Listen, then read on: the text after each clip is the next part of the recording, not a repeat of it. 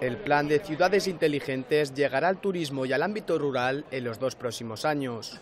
Esta iniciativa, presentada en la octava edición del foro Green Cities de Málaga, impulsará la aplicación de las tecnologías al funcionamiento de las ciudades, zonas rurales y servicios públicos para mejorar su desarrollo económico, social y ambiental. El secretario de Estado para la Agenda Digital, José María Lasalle, lo comenta.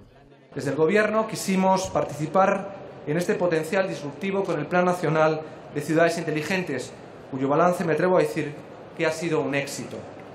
En este sentido, quiero subrayar la fructífera relación que vamos ejerciendo con la Red Española de Ciudades Inteligentes, cuyo protagonismo en este ámbito es ya innegable y con la que vamos a intensificar nuestra colaboración Representantes de más de 200 ciudades de una treintena de países se han reunido en este punto de encuentro entre la oferta y la demanda de soluciones innovadoras y sostenibles aplicadas a las ciudades. Así lo explica el alcalde de Málaga, Francisco de la Torre.